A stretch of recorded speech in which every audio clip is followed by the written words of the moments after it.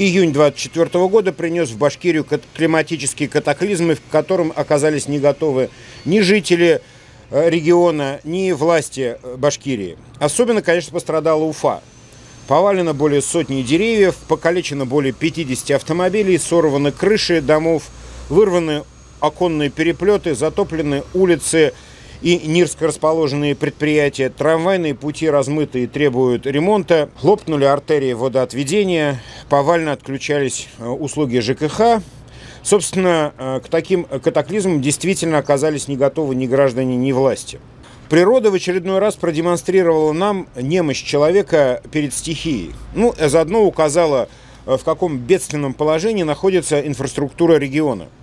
И с каким ну, собственно, наверное, правильно сказать, безучастием отнеслись власти Республики Башкортостан к своим прямым обязанностям по устранению последствий э, подобных катаклизмов и э, поддержанию гражданской инфраструктуры в, хоть сколько-нибудь э, пристойном состоянии. Все, что делали власти в период вот этих вот разгулов стихии, это была констатация очередного ущерба. Рассказывали здесь, что лопнуло, там, что упало, тут, значит, что сорвало и так далее. В связи с чем мы опросили подписчиков нашего телеграм-канала с целью дать оценку действий властей во время вот этих вот ураганов, которые начались 22 июня. В опросе поучаствовало почти 1900 человек, и только 10% из них считают, что власти Республики Башкортостан достойно противостояли стихии. 14% опрошенных отнеслись э, к проблеме безразлично ввиду того, что сами они находились в комфорте и никак не пострадали от ураганов, дождей и ливней. 23% и вовсе не заметили никакого урагана и не обратили внимания на то, что погода слегка испортилась. Но вот большинство опрошенных, 53%, считают, что власти Республики Башкортостан преступно бездействовали и все проблемы свалили на жителей. Ну, по-моему, нам давно уже э, пора понять, что в Российской Федерации в целом и в Республике Башкортостан в частности никакой помощи от властей в критической ситуации ждать не следует. Более того, наверное, э, полагать на то, что вам будет эта помощь оказана, это тоже своего рода э, преступная наивность. Всегда нужно полагаться только на собственные силы.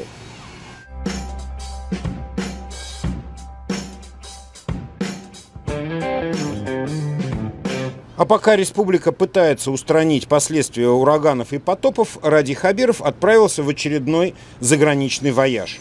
И опять в Беларусь.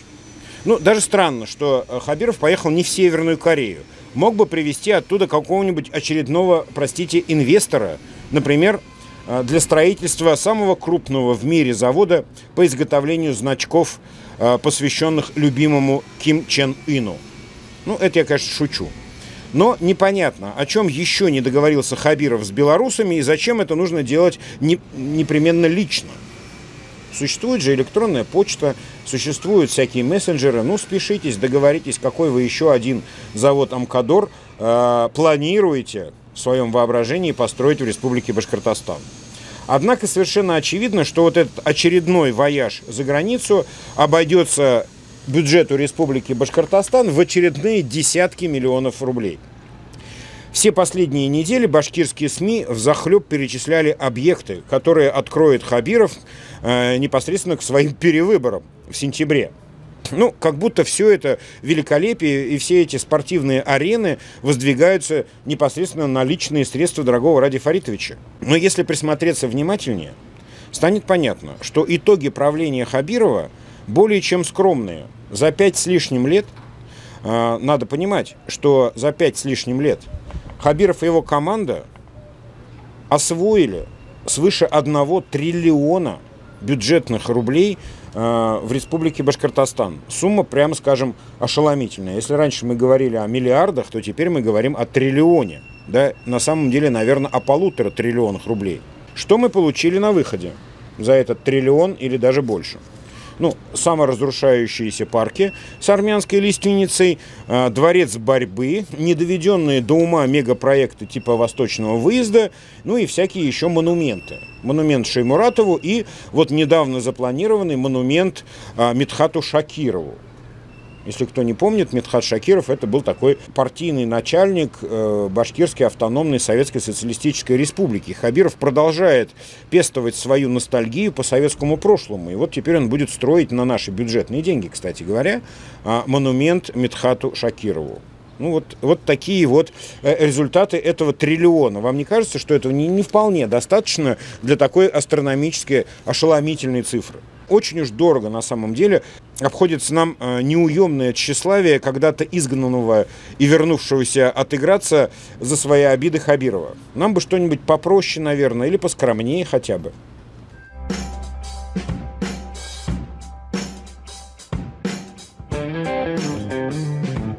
Помощь каналу «Открытая политика» не только полезное дело, но и богоугодное. Всевышний всегда благоволит тем, кто способствует распространению истины. Поспособствуйте и вы. Помогайте нашему каналу материально. Сделать это можно единственным доступным способом через расчетный счет, который вы сейчас видите на экране и который вы можете легко найти в описании под каждым нашим видео.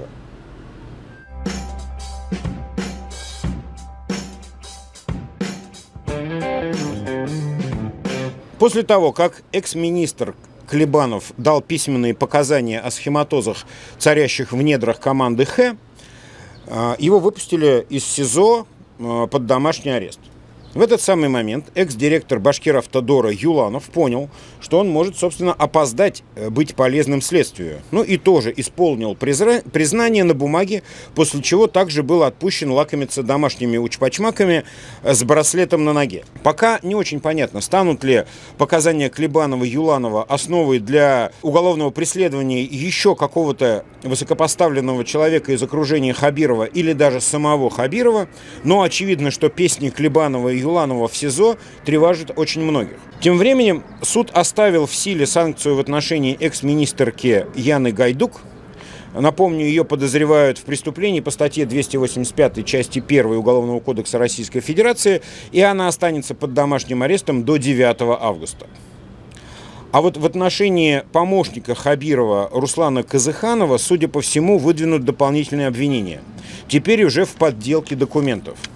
А, напомню, что господин Казыханов э, курировал создание вот этого научно-образовательного центра, как выражается Хабиров, европейского уровня или мирового уровня, что ему там больше нравится. В общем, Казыханов этот, э, судя по всему, присядет надолго именно за деньги вот этого научного образовательного центра. Вообще в окружении Хабирова люди очень многогранные, и в их уголовных делах, как правило, много эпизодов. Вспомните э, Кучербаева, у которых их было аж 50. Вообще в данный момент э, в СИЗО находится так много соратников Хабирова, что пришлось даже отрядить туда членов СПЧ, э, проведать в братву, как говорится. Инспекция осталась довольна условиями содержания узников и даже похвалила наличие горячей воды в одном из корпусов э, следственного изолятора. Вот такая вот трогательная забота о братве проявляется со стороны Хабирова и его соратников.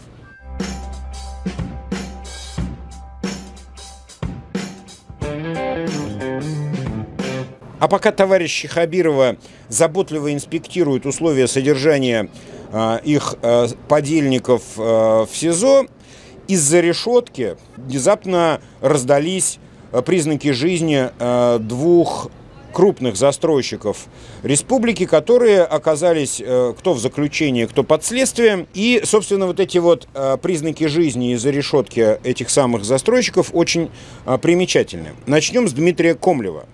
Дмитрий Комлев, э, застройщик Миловского парка, посаженный на 8,5 лет за то, что оставил без денег и квартир э, полторы тысячи семей, неожиданно добился благосклонности Калининского районного суда города Уфы и, в общем-то, э, получил одобрение досрочного освобождения. Ну, после окончательного вынесения приговора Комлев провел в неволе немногим больше полутора лет, а дали ему восемь с половиной. Прокуратура, к слову сказать, категорически протестует против подобного акта милосердия и подает апелляцию на решение э, Калининского суда. Если Комлеву все-таки удастся выйти, то мы увидим вот такое примерно уравнение. Похищаешь 2 миллиарда, которые полторы тысячи семей копили почти всю свою жизнь, сидишь в комфорте полтора-два года и свободен. Напомним, что у Комлева, по сути, ничего сколько-нибудь соразмерного ущербу конфисковано не было. супруга и дети Комлева все это время, все эти полтора-два года, которые он был в тюрьме, э, жили без забот, сытно и уютно, пользовались элитным жильем, а квартира в Уфе, особняк за городом, немецкие автомобили, все это замечательно. Ну, а теперь, как к счастью, присоединится еще и папаша. Ну, а как же, спросите вы, э, принцип соразмерности наказания или хотя бы социальной справедливости? Ну, у меня, собственно, тоже такие же вопросы. Кстати, так и не удалось конфисковать э, бухту Кила, которую неразрывно связывали с бизнесом Комлева. Это бухта Кила, в которую было э, вложено по тем еще ценам свыше э, миллиарда рублей, э, так быстро меняла своих владельцев, что ну, не успели за ними уследить и, собственно, не смогли ассоциировать эту бухту Кила с Комлевым и его имуществом. Ну, или не захотели ассоциировать. Вот здесь, конечно, большой вопрос. Потому что в последнее время в России и э, менее сложные задачки с имуществом решаются на раз-два. Там, вспомните Макфу или еще что-нибудь. Раз и отобрали. А тут, значит, как-то постеснялись. Очень странно, согласитесь. А вот другой застройщик, Кирилл Бадиков, который еще только ожидает решения суда в Уфимском СИЗО, категорически недоволен э, условиями содержания в этом самом СИЗО. Он пишет жалобы, требует улучшения условий, видимо, э, неритмично выдают ему э, гигиенические принадлежности. Хотя, наверное, он сидит в том самом корпусе, где есть даже горячая вода. Отметим, что ряд его подчиненных и партнеров тоже – осмотрительно отъехали из России в землю обетованную и оттуда наблюдают за процессом совершения правосудия над Бадиковым. А, Кирилл Бадиков действительно рискует стать крайним и получить по полной за все грехи его команды.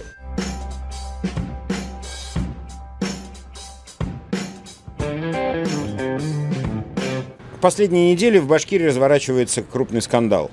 Расследование нескольких башкирских СМИ в отношении обоснованности трат Министерства культуры республики необычайно взволновали, если не сказать возбудили башкирские власти.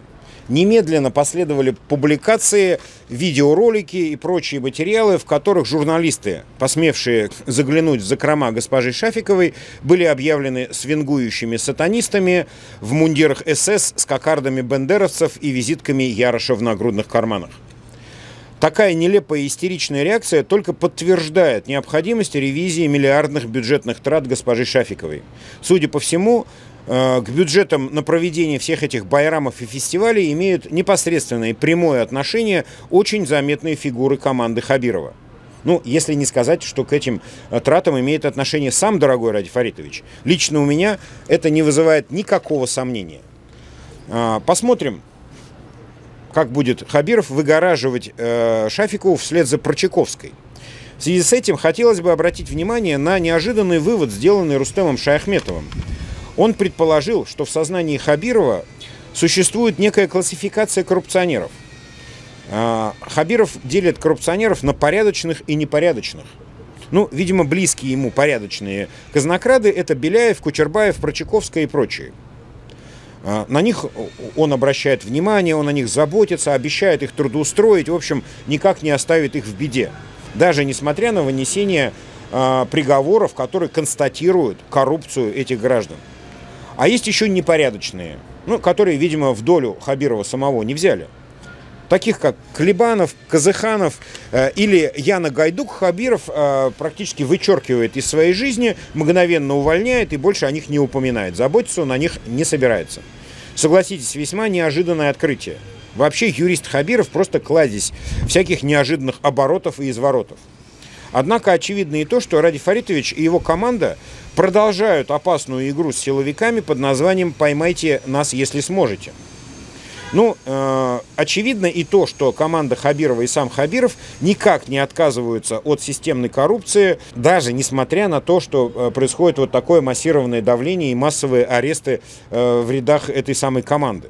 Тут для меня, пожалуй, напрашивается вывод, что ребята эти пришли к власти исключительно для того, э, чтобы э, совершать те деяния, э, по которым им выносят приговоры. Ну, иного вывода здесь не может быть, потому что массовость и количество арестованных и уже осужденных соратников Хабирова говорит о том, что это определенная закономерность, а вовсе не случайность.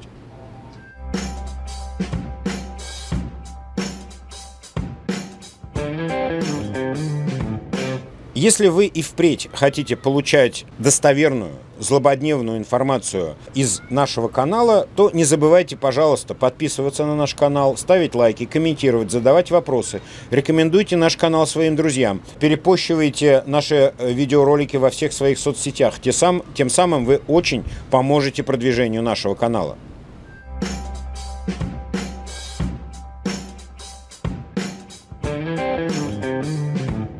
После того, как окончательно стала ясна конфигурация выборов и кандидатов на пост главы Республики Башкортостан в грядущем сентябре, стало понятно, что Хабиров э, разыграет сценарий «Кто, если не я?».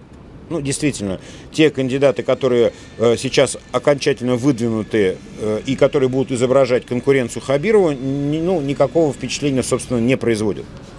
Народ в связи с этим впал в уныние, понимая, что мастерство проведения выборов Хабирова не подразумевает никакого другого варианта, как второй срок дорогого Радия Фаритовича. Отсутствие веры в избирательную систему населения Республики Башкортостан, а, похоже, решено было компенсировать верой в Господа Бога. В Башкирии ширится движение э, коллективных молебнов и молитв конфессии во избежание того, чтобы Хабиров остался у власти в Республике Башкортостан. Ну, это очень напоминает начало 20 века, когда а, население России молилось, например, за избавление от а, какого-нибудь Распутина. Не стану судить о степени наивности подобных инициатив, хотя бы потому, что и сам не чужд религиозных представлений, но вынужден констатировать.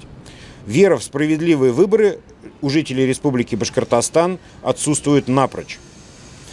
Ну, как говорится, помоги нам Бог избавиться от Хабирова. Нам, собственно, сгодится любой божественный промысел, при помощи которым, которого небеса избавят нас от дорогого Ради Фаритовича.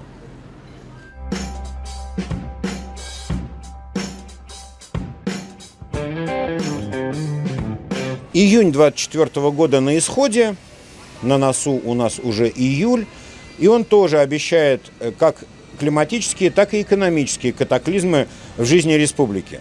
Например, продолжит дорожать топливо. За последние два месяца цены повышались 7 раз, и уже самый дешевый бензин стал дороже 50 рублей. Нисколько не сомневаюсь в том, что и в июле, и в августе цены на топливо в Башкирии будут расти.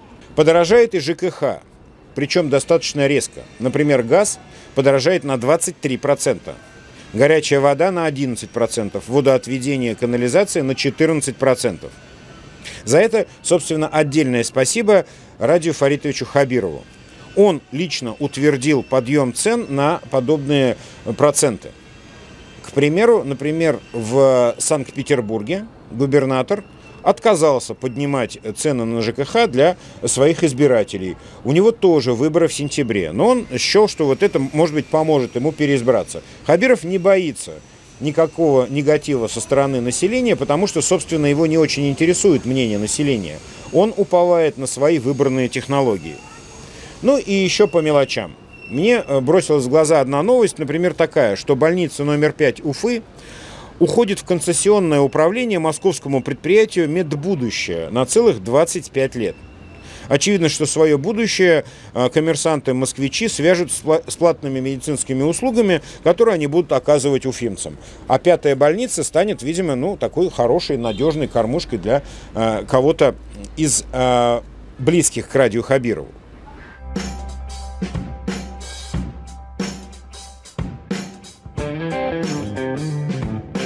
Ну и традиционно немножко смешного. Стали известны подробности внезапного одухотворения депутата Госсобрания Джеффри Уильямовича Монсона. После внезапного перехода из депутатов э, в ислам Джеффри Уильямович планирует, оказывается, сменить имя и отправиться защищать единоверцев в Палестину.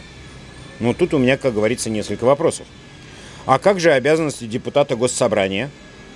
Ведь Джеффри Уильямович избран от «Единой России», народом э, в Государственное собрание Курултай Республики Башкортостан для того, чтобы защищать интересы и работать на благо этого народа.